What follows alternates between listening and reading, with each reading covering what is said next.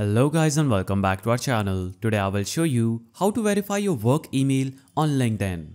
So, in order to do this, first of all, navigate to any browser on your PC, then navigate to www.linkedin.com and log in using your user credentials. After logging in, you will see this page. Here, you'll have to click on the me icon at the top right of this page now you will see different options appearing where you'll have to click on the view profile button. It is going to take you to your profile page where you'll have to simply click on the resources option at the bottom of your name. So click on resources and it's going to show you these five options from which you're going to choose about this profile.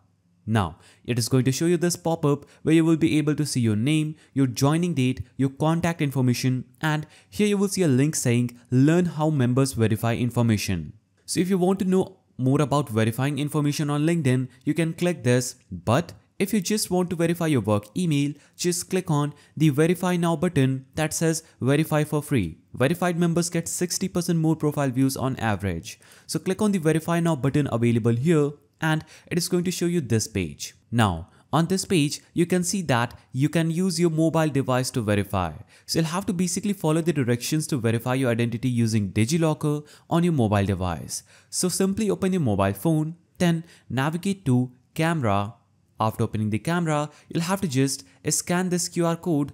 Now when you scan this QR code, you will see a link appearing on your bottom. Simply click on that link so on your mobile device, you'll have to make sure that you have installed the LinkedIn application in order to complete the verification for your email. Also, this page will be updated when your verification will be successful. So after installing the LinkedIn application, you'll have to open your camera on your mobile phone and click on the link that will be shown at the bottom of your screen and that is instantly going to open LinkedIn application where it will sign you in or you'll have to sign in using your credentials. Now, after you scan this, you're going to see this page on your mobile phone where you'll have to click on verify with DigiLocker. Then you'll have to enter your mobile number, then enter your security pin and enter the OTP received on your mobile phone. Then click on submit. After you click on submit, you would have successfully verified your email. So you'll have to click on allow here, click on continue to verify.